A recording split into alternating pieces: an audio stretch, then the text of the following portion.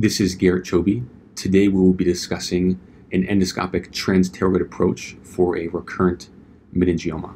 This is a case with myself as well as my neurosurgical partner, uh, Dr. Michael Link, and his fellow uh, at the time, uh, Maria Peris-Celda. This is a patient who had undergone three previous craniotomies for a uh, large sphenoorbital meningioma with residual disease, as you can see here, as well as a significant amount of pneumocephalus. We begin in the right nasal cavity, uh, opening up the sphenoid sinus, as you can see here.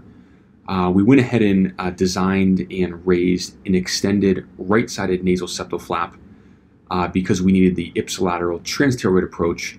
We knew that we would likely uh, use our artery on that side during the transpterygoid approach, such that we raised a right-sided flap.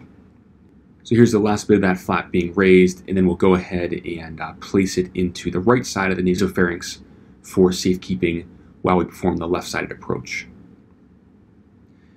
Here we are identifying the sphenoid os on the left side. You can see uh, a little bit of uh, fat pooching out there from the previous uh, resection and reconstruction via his craniotomy. We'll then create a limited posterior septectomy, uh, crossing over to the contralateral side to create a nice uh, wide common sphenoid cavity as you can see here.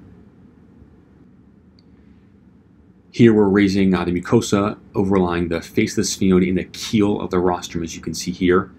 And we'll go ahead and take a downgoing Kerrison to remove that bony face of the sphenoid and then remove the keel of the rostrum in its entirety. This is an important step in the operation to ensure that you have full access to the clival recess uh, throughout the rest of the case. At this juncture, we'll proceed with our maxillary antrostomy. So here's a backbiter taking down the uncinate process, as you can see here uh, up towards the maxillary line, and then identifying the natural os just behind it and dilating that posteriorly. We'll then remove uh, the medial wall of the maxillary sinus in order to gain access to the sinus and identify the posterior wall, which is the face of the pterygopalatine fossa. We'll then take down the ethmoid bulla, as you can see here, and uh, work through the ethmoid cavity to skeletonize the orbit.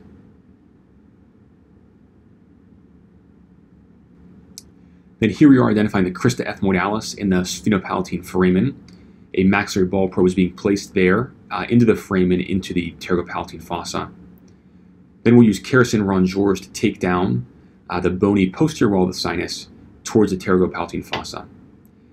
The key portion in this part of the operation is taking down the bony back wall of the sinus, but leaving the periosteum intact.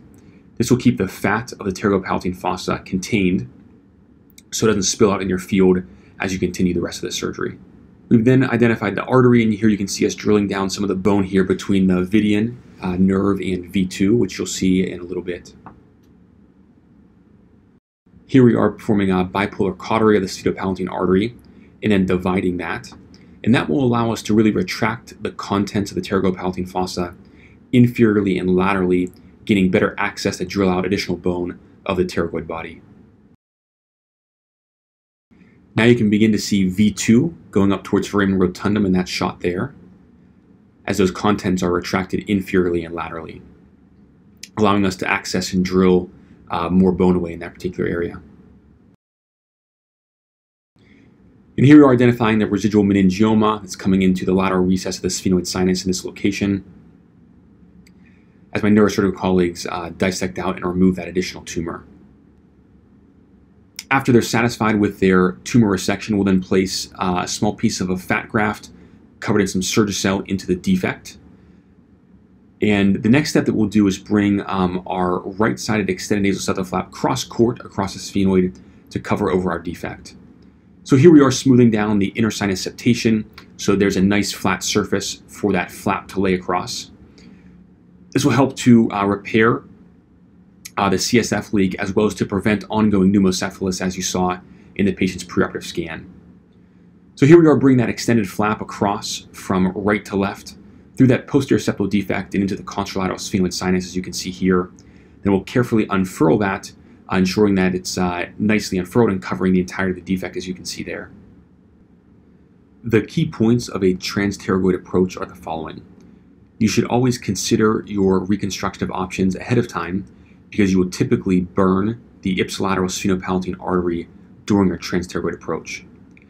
This approach is typically reserved for accessing the lateral recess of the sphenoid sinus, and thus a careful examination of preoperative imaging is very important. As you access the pterygopalatine fossa, it is ideal to leave the periosteal layer intact such that the fat does not spill out and interfere with your field.